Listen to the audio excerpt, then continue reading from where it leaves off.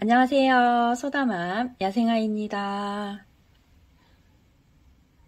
지금 밖에는 날씨가 굉장히 흐려 있어요. 흐려 있는 건지 미세먼지인지 아무튼 날씨가 밖에는 해도 안 보이고 어, 안 좋아요. 근데 저희 집 거실은 아주 그냥 햇빛 아닌 식물 등으로 이렇게 환하게 어, 꽃들에게 이렇게 비춰주고 있답니다. 그래서 우리 집에 있는 제라늄 꽃들이 이렇게 예쁘게 계속 하나씩 하나씩 이렇게 피고 있답니다. 어, 지금 보면 어, 이 아이는 별슈켄이라는 제라가 이제 저희 집에 와서 이렇게 꽃을 보여주고 있고요. 어, 또 여기 요 어, 빛 붓게도 음, 씨방이 하나씩 하나씩 더 늘어나고 있어요. 여전히 이렇게 아주 꽃이 피고 있고요. 또, 또 새로운 아이가 있어요. 요거, 요게 골드 애니버셔리, 요거는 요런 색깔이에요. 완전 깨스니죠? 핑크핑크 깨스니.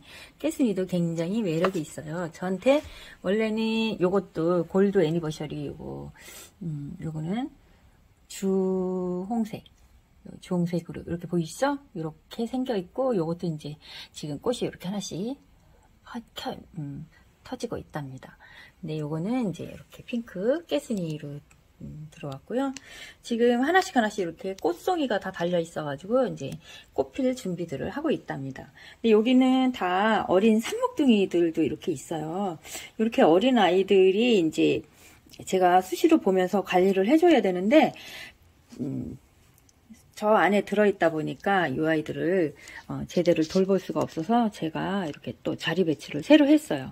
여기는 지금 이제 어, 다육이 어, 다육이 선반 아래에 있는 음, 아이들이에요. 그래서 여기 제라늄들을 이렇게 어린 어, 제라늄들 제 관리가 좀 필요한 아이들은 이렇게 앞으로 끄집어 내놨어요. 그래서 이렇게 여기서 키우고 있답니다.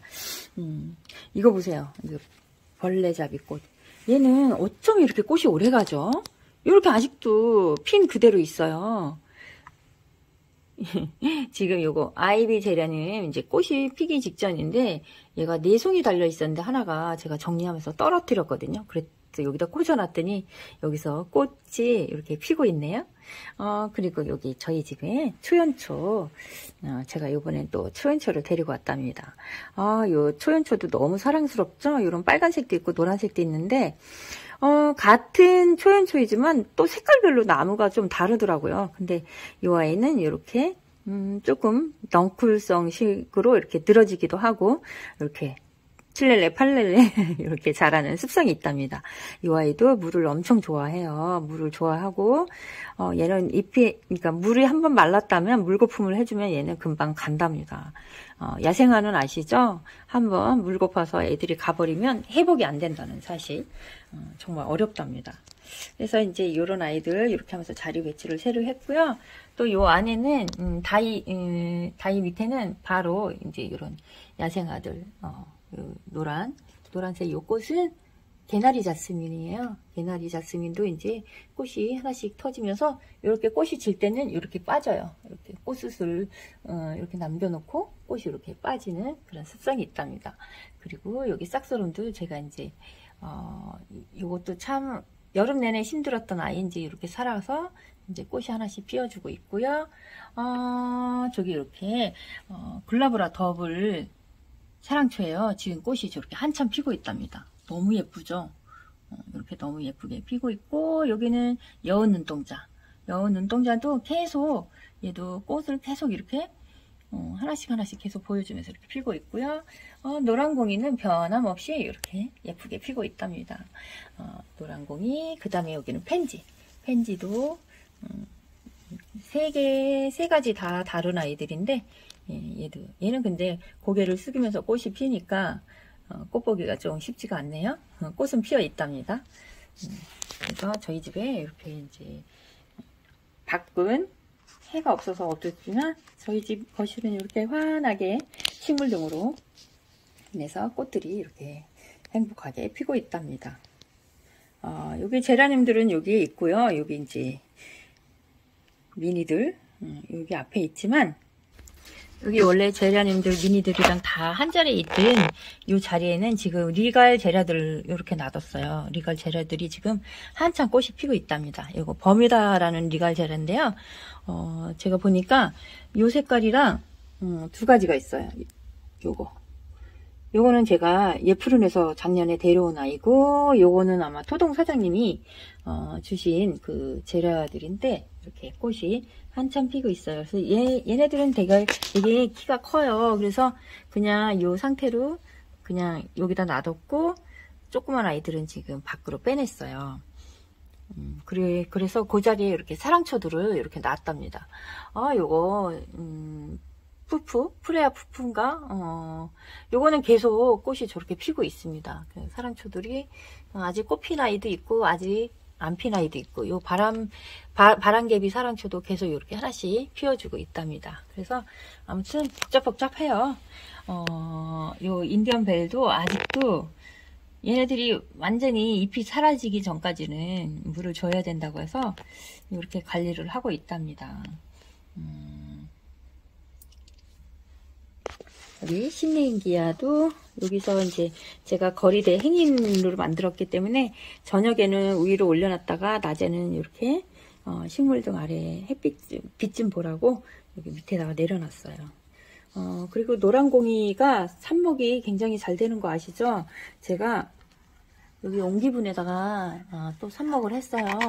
삽목을 해서 여기 꽂은 아이들이 거의 대부분 다 이렇게 잘 살았는데 하나가 제대로 안 되고 죽어가고 있더라고요. 그래서 그 아이를 여기 신nin기야 어, 물꽂이하고 삽목할 때 제가 그걸 뽑아다가 어, 다 죽, 죽어가는 날 여기 물에다 꽂아놨어요. 근데 노란 공이가 물 좋아하는 거 아시죠? 물 굉장히 좋아하거든요. 어, 그래서인지 이렇게 물에다 꽂아놨더니 얘가 제일 먼저 이렇게 뿌리가 내렸어요. 어, 이게 노란 공이거든요. 지금 뿌리 내린 아이가. 그 잎도 이렇게 건강해졌어요.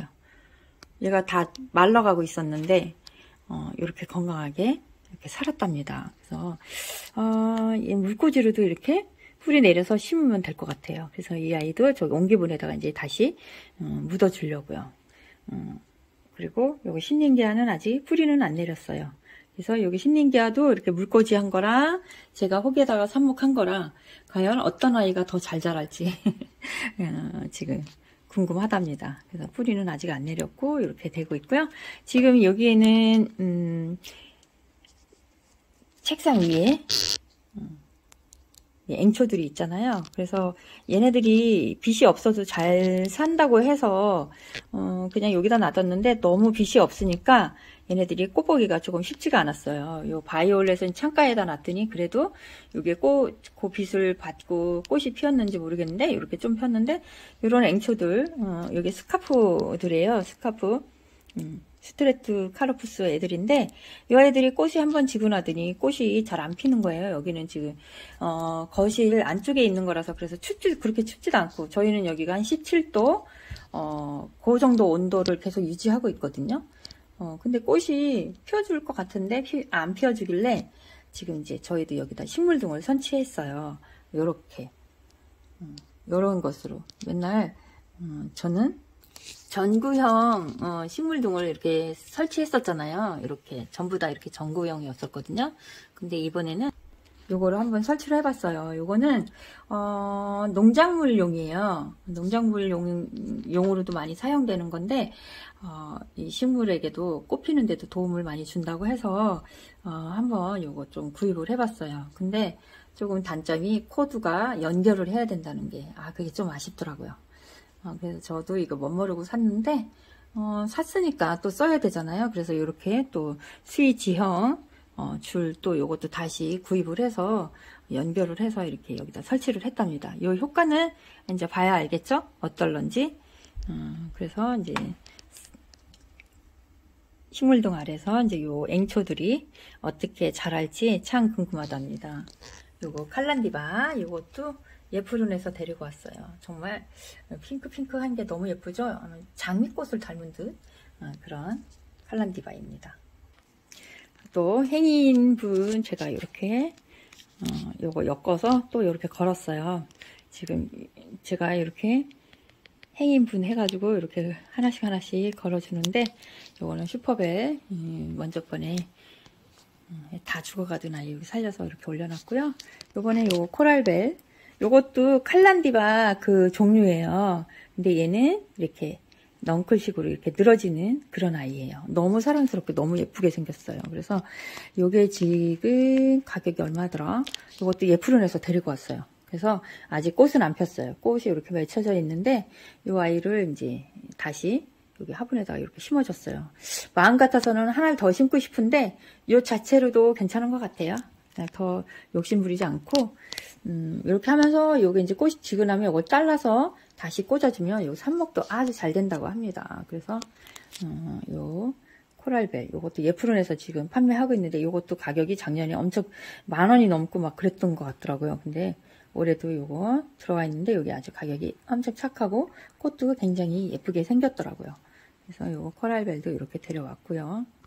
그래서 저희 소단의 집은 음, 겨울 속에 이렇게 꽃들이 음, 계속 피어주니까 날마다 이렇게 꽃을 보는 재미가 있답니다. 어, 저녁에 퇴근하고 와서 이 꽃들을 보면서 어, 피로도 회복되고 어, 힐링이 되는 저의 공간이랍니다. 이것 좀 한번 보세요. 이게 뭐냐면요. 제가 씨앗 나눔을 한다고 했더니, 어, 이제 씨앗이 좀 그렇게 뭐, 음, 여유롭게, 어, 많지는 않지만, 어, 그래도 이제 저 나름대로 있는 거 가지고 나눔을 하려고 했더니, 어, 은하의 정원님이라고 있어요. 강릉에 사시는 은하의 정원님이 어, 소담함 제가 씨를 좀 보낼 테니까 그거 보태서 나눔에 좀 보탬이 됐으면 좋겠다 하고 이렇게 씨앗을 어, 받아가지고 그 더운데 나가서 이렇게 씨앗을 이렇게 음, 채취를 해가지고 저한테 보내주셨어요.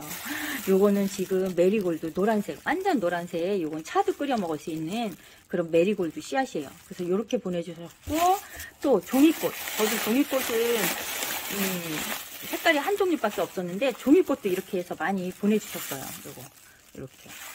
또, 이건 또 뭐지? 요거는 백일홍. 백일홍.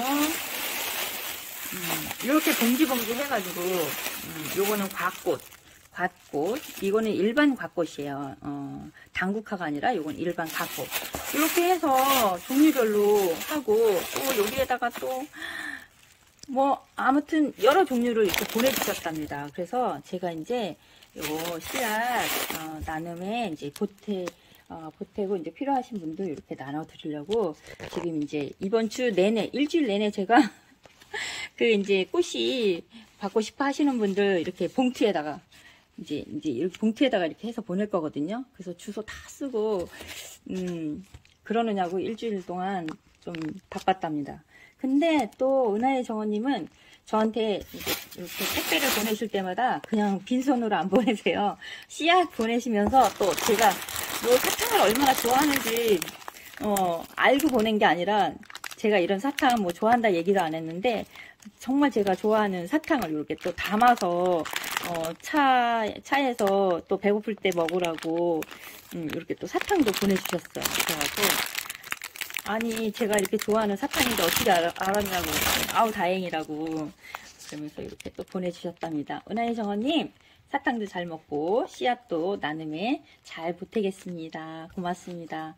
우리 은하의 정원님 많이들 응원해주세요.